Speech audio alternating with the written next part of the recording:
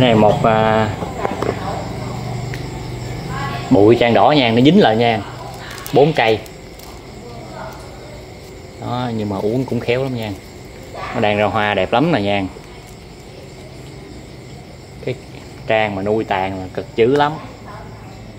Được một cái tàn đặc đặc như vậy là cũng cũng lâu lắm. Đó làm cái ngọn là thành cái bông thôi chứ hay ghê chưa?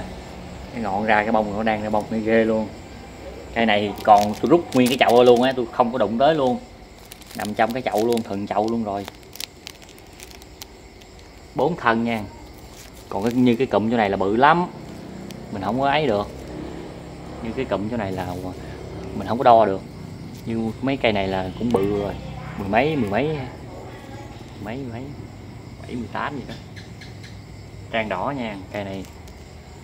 Cũng đẹp nói chung cũng xé xé tàn ra, rậm rậm rồi. Đó tại hôm nay mình đi về tối qua bữa nào về cũng tối hết, quay không. Như một cây dù rồi nha, đỉnh ngọn có một cái bông luôn. Cây này, mình mình để nguyên con như vậy mà. Tại mình lấy trong nhổ ra cái chậu luôn, mình không có chờ chở nổi cái chậu. Lấy cái chậu luôn cây đẹp bán không được mình cũng để chơi.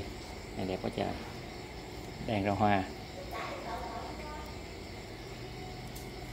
Ra hoa quá trời. Tàn mà, trang mà làm được một cái tàn cũng công phu lắm nha. Trời ơi, trang là tôi thấy trang là tôi sợ dữ lắm.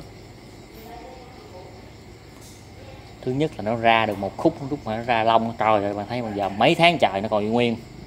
Đừng nói ra được một cái nhánh dài vậy mà uống nữa ai làm gì mà làm trang mà tôi thấy ai mà thà làm được một cái trang là thành công là thấy, thấy quá hay. Rồi. tương đối trời tương đối. Về chơi được. Giải trí. Cái cụm này thì nó bự lắm nha tại bốn cây mình không có đo được như cái cụm đó là ba mấy bốn mươi luôn mình không có đo được. Tại nó nằm nguyên một bệ như này bốn cây dính lại.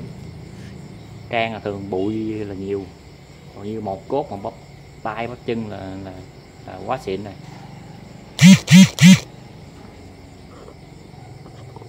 càng đỏ nha lá nhỏ nha.